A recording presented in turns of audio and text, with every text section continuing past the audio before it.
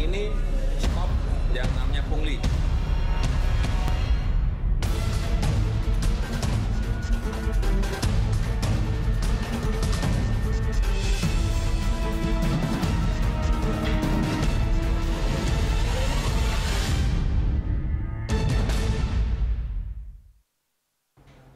Ya, dialog kembali kema- kami lanjutkan. Saya ke Pak eh, Agus dulu. Pak Agus, ini mungkin kita bicara agak sedikit teknis gitu Pak. ya. Ini jadi ada satgas sekarang yang, yang dioperasikan. Operasi pemberantasan pungli itu apakah akan dilangsungkan juga sampai ke daerah-daerah begitu? Koordinasi dengan Kapolda-Kapolda seperti apa? sampai ke daerah-daerah kita apa eh, laksanakan itu ya kalau kita untuk pelibatan Polda tentunya itu sesuai dengan kebutuhan tapi kebanyakan tim ini bekerjanya mereka eh, di bawah undercover lah gitu ya. Jadi tidak secara langsung karena namanya juga operasi Nggak bersih. gitu ya. operasi bersih namanya kan.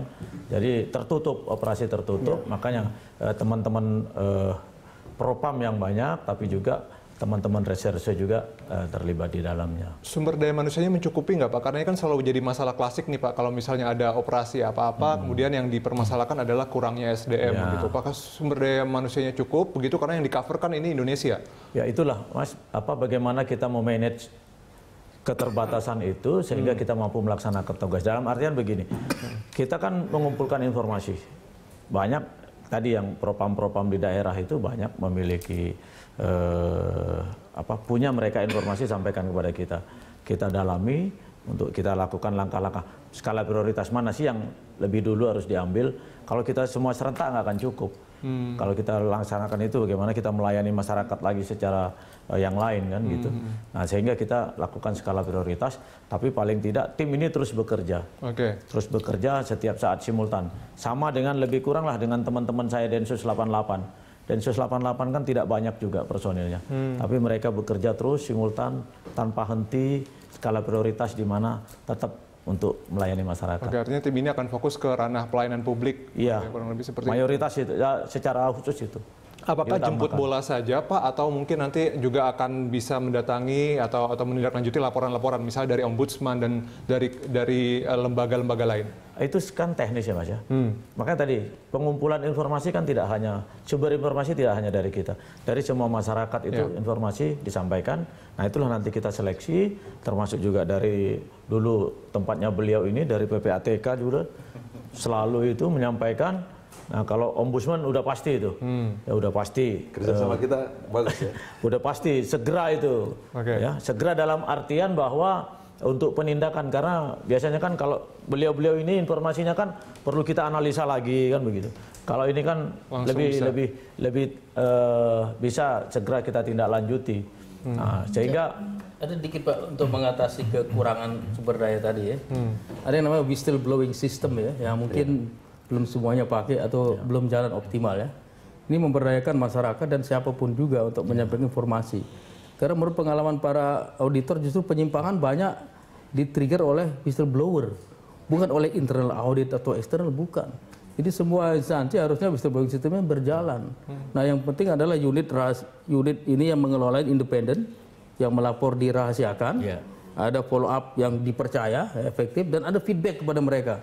Kalau ini jalan, keterbatasan tadi eh, tenaga keterbatasan laporan bisa lahir dengan whistleblower system yang bagus. Iya. Iya. Kalau perlu, saya ambil contoh Pertamina misalnya, dia pakai akuntan publik mengelola informasi laporan dari whistleblower tadi dengan 8 jalur.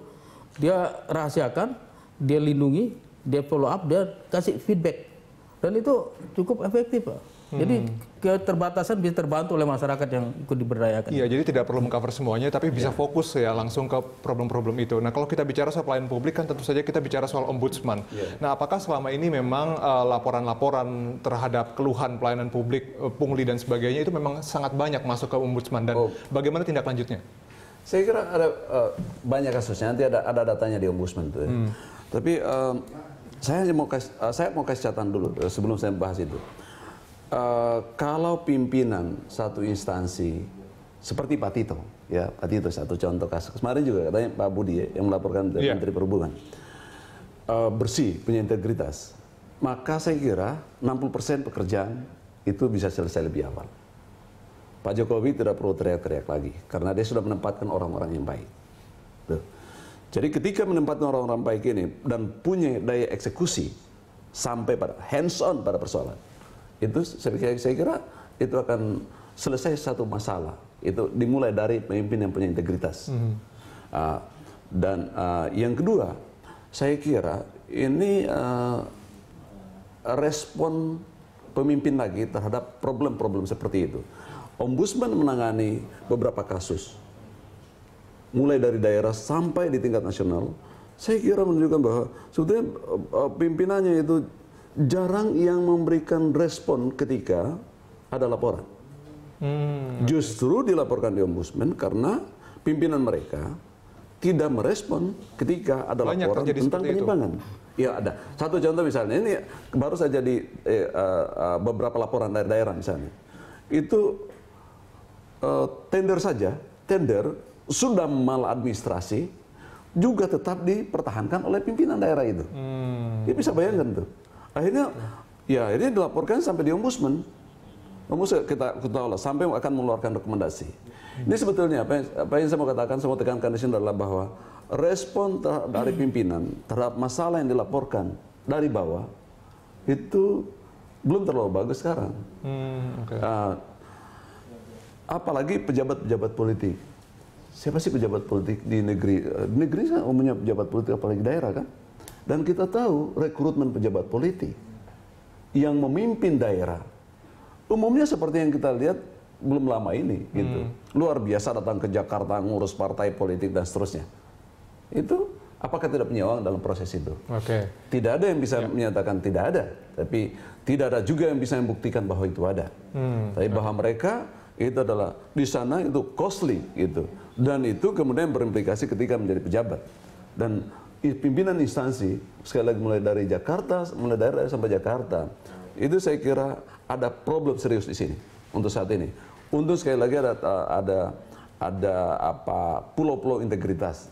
Harus ada. island of integrity seperti munculnya figur-figur yang punya integritas seperti Pak Tito. Itu saya kira perlu diapresiasi. Dan sehingga saya kira ini ya ketika ada pertanyaan ah, harus bersihkan dalam dulu saya kira Pak, Pak, Agus tadi sudah menyatakan bahwa ada gerakan dalam untuk melakukan persiapan di polisi tapi juga ah, yang paling penting adalah ada figur situ yang sudah ah, apa mengekspresikan pulau integritas dalamnya Iya, itu harus simultan ya, Pak ya Iya. bersih di dalam tapi juga terus membersihkan Sistemnya juga harus dibuat. eksternal begitu. Kalau Mungkin orang ini aja capek deh. Waktu kita terbatas mungkin juga eh, bisa closing statement dari Pak Agus dan juga nanti Pak Yunus. Pak Agus dulu. Iya, tentunya saya ucapkan terima kasih kepada seluruh masyarakat Indonesia yang selama ini telah membantu tugas Polri. Dan mudah-mudahan eh, langkah ini terus akan eh, kita bangun bersama sehingga sinergitas Polri dan masyarakat tetap terbangun. Karena kami menyadari tanpa dukungan dan peran serta masyarakat kami tidak bisa berbuat lebih banyak lagi. Dan apabila tentunya apabila terkait dengan kemungkinan ditemukannya atau ada dugaan anggota kami melakukan hal-hal di luar ketentuan atau penyimpangan, tidak usah ragu-ragu, dilaporkan kepada pimpinan kesatuannya ataupun kepada propam setempat untuk kita lakukan penelusuran lebih lanjut. Tidak usah khawatir, informasi sifatnya tetap rahasia dan kami akan lakukan eh, proses dan jika terbukti akan diambil tindakan. Iya, masyarakat jangan takut untuk melapor Tidak, karena pasti ya. ditindaklanjuti Pasti, gitu ya. Oke, Pak Yunus mungkin terakhir. Eh, jadi masalah pungli bukan masalah berdiri sendiri ya.